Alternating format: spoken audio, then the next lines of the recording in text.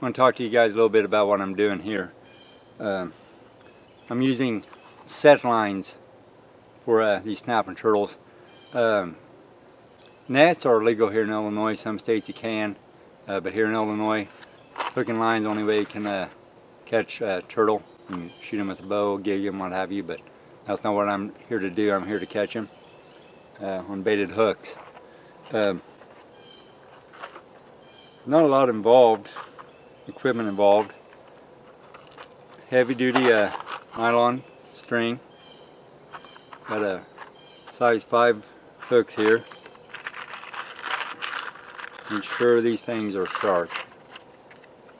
If they're not sharp uh, from the factory, sharpen them yourself.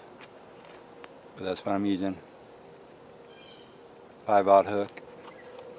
As far as bait goes, what I'm using this time is a small deer brisket. I was cleaning out the freezer and found some I was going to corn about six years ago.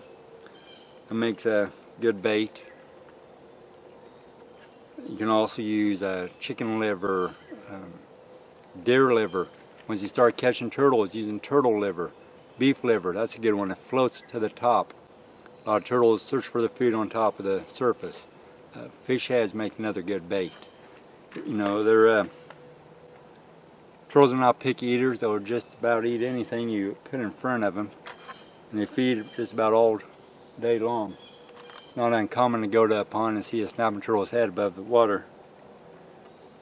They are uh, always on the prowl, always on the move.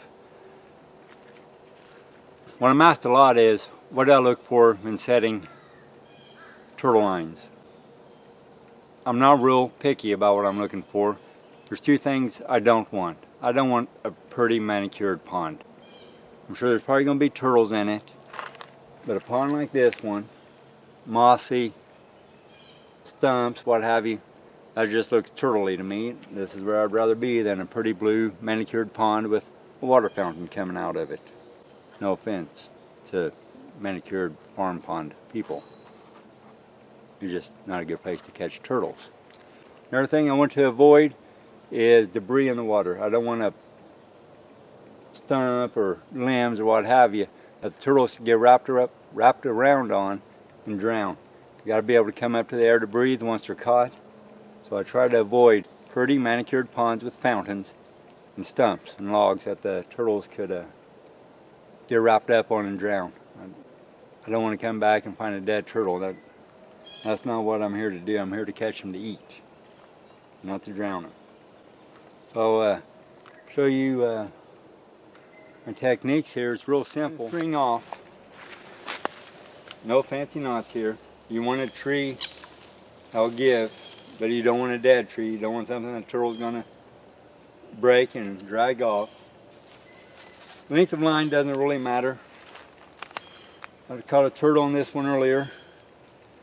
Um, I don't know, I probably got 10 yards of line left still, 15. You know, throw it out however far you want. It don't matter. Close to the bank, far out. You'll still uh, catch turtles. It don't matter. They'll come and eat it. You say I caught a uh, turtle on this one earlier. It's been wrapped here. They all like catching a coon, they just tear everything up. I've got a, a lot of string left here. Back through the hole.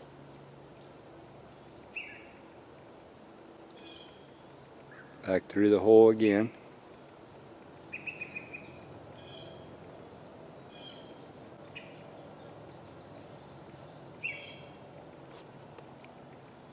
A turtle will not get off of that. And don't worry about him breaking your line. You're probably not going to break it. You might bite through it, but that don't happen. Only time a turtle would break your line if it's just rotted. There's no really no fancy way to put it on either. Put your bait on,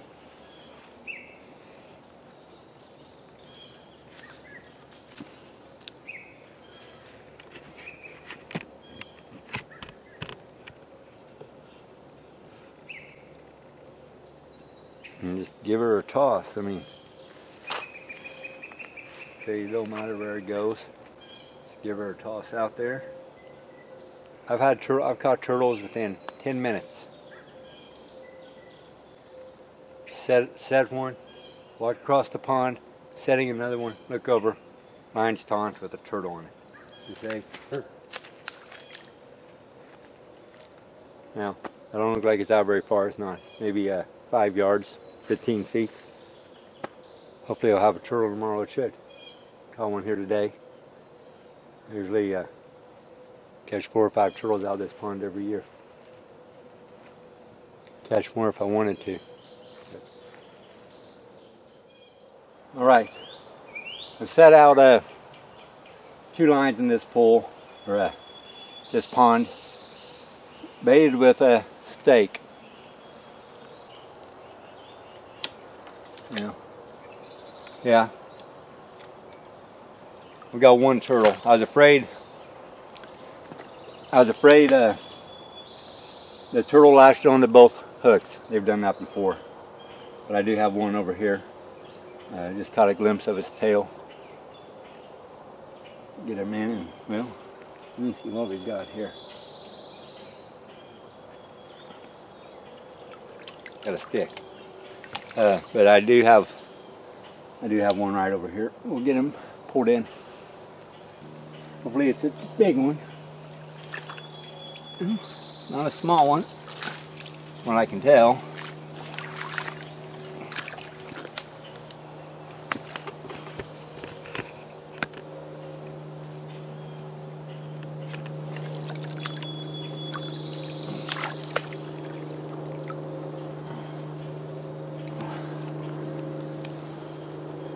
Not a giant,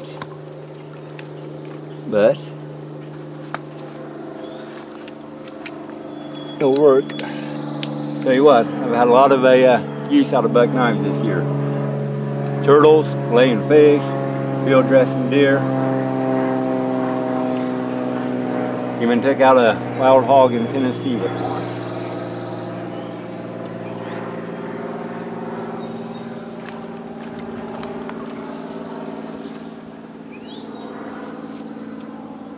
Get him out here in the water tank.